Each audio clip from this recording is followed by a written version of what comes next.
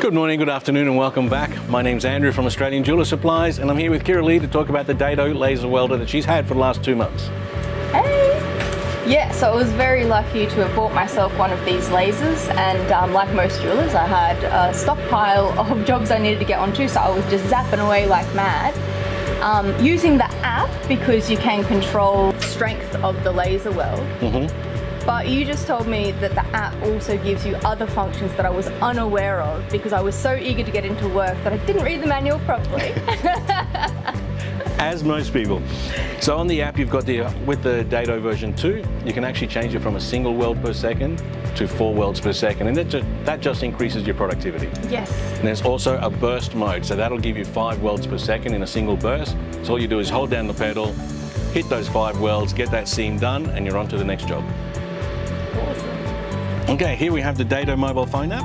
It's telling us that this serial number Dado is 20595. So we'll log into that Dado that's currently in its awake state. And you can see down in the bottom right hand corner that the state is ready. We've got the power level settings here. And you'll notice the lights change color around the power level ring.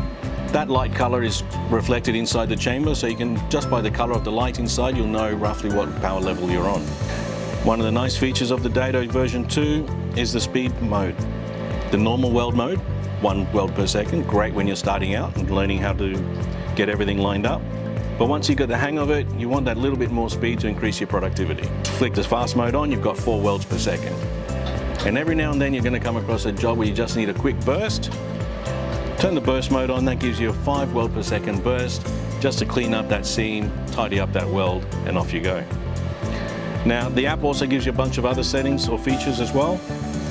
The information page is excellent because you can see how many shots your laser's done, the temperature of the coolant, temperature of the power supply, your serial numbers displayed here again, any active alarms that come up are all displayed on this page.